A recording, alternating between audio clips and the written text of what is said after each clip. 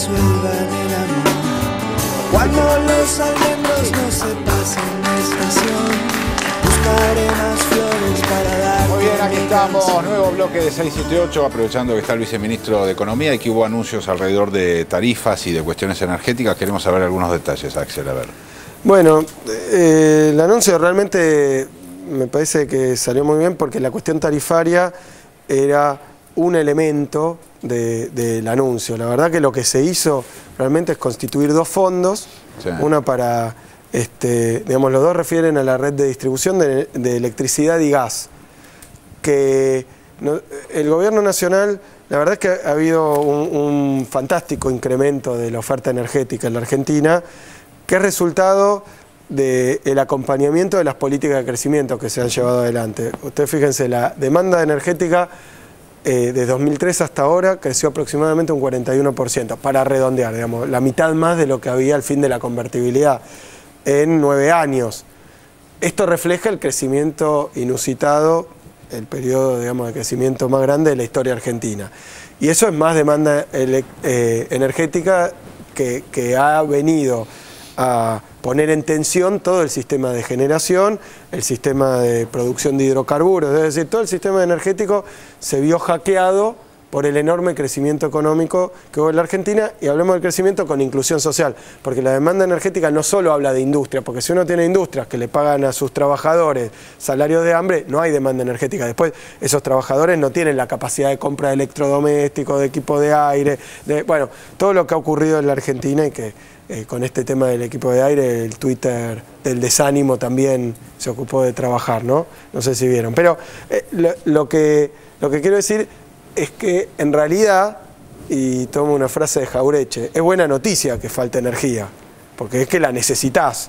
Cuando un país crece tan fuerte como la Argentina, hay que crear eh, infraestructura que es carísima, ¿no? Una represa, una central térmica, incluso los parques eólicos, todo es caro, es gigantescamente caro, con el petróleo este, a niveles históricamente altos.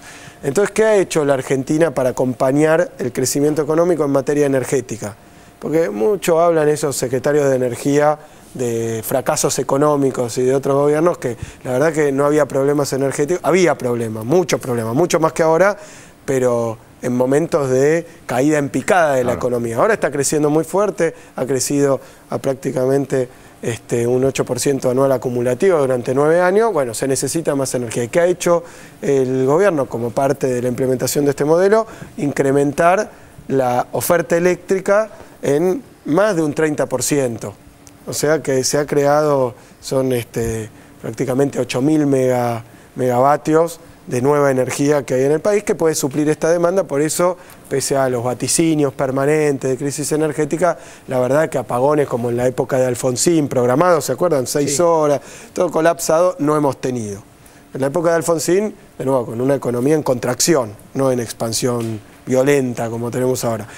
Entonces, realmente se han hecho muchos esfuerzos, pero la red de distribución es especialmente, eh, es especialmente complicada porque se trata del tendido de cables de las grandes ciudades, de, de entrarle eh, a, a- a, bueno, al cambio de transformadores, a todo esto que hace a que esa generación que está en las centrales térmicas, hidroeléctricas, nucleares, llegue a cada uno de los- al enchufe Claro. de cada uno de nosotros. Y eso es una gigantesca red de tendido de cables, este, estaciones transformadoras, etc. Con eso se ha hecho mucho, pero bueno, todavía eh, en el caso de, del AMBA, digamos, de- del área metropolitana, hay dos empresas, Edenor y Edesur, que son las responsables de esto. Y hay déficit en materia de distribución, este, de, de infraestructura de distribución.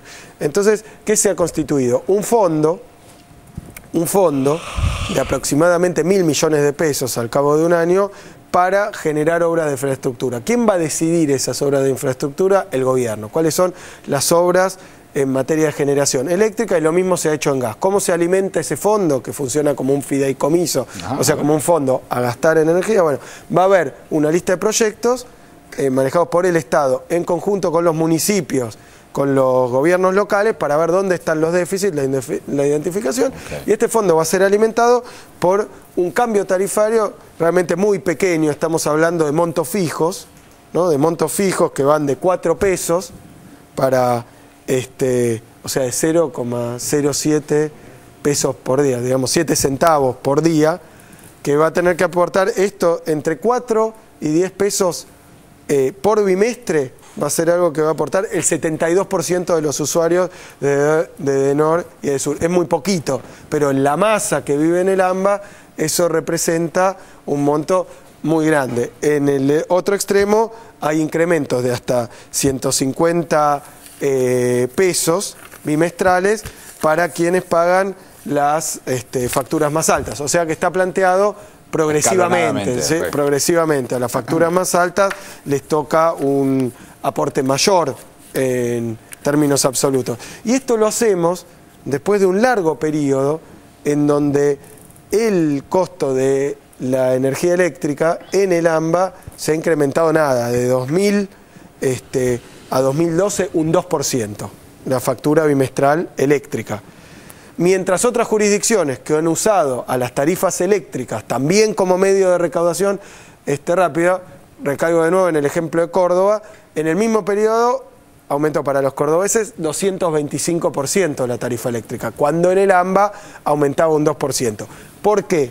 Porque estas tarifas reducidas en materia de energía eléctrica y de gas no son un error, no es que nos olvidamos de ajustar las tarifas, porque hay una solución que ponen todos los liberales para este, los famosos problemas energéticos, que es alimentar las ganancias de las empresas porque muchas veces son lobistas de las empresas, a través de aumentos tarifarios gigantescos. Esta vendría a ser la gran solución porque entonces se genera un lindo clima de inversiones, claro, te llenas de plata y es un hermoso clima. ¿A costa de qué? Del bolsillo de los Sí, sí, es un calorcito lindo para las inversiones si vos ponés un aumento tarifario del 225% o cosas así, o como era en los 90, tarifa dolarizada de las más altas del mundo para todos los servicios públicos. ¿Qué hemos hecho nosotros? Una política de subsidios, no nos avergonzamos, es una política deliberada por lo que decía recién con respecto a las naftas, donde también tenemos una política de, administración de los precios. Estoy viendo, no sé si ya está ocurriendo, pero mañana va a ocurrir,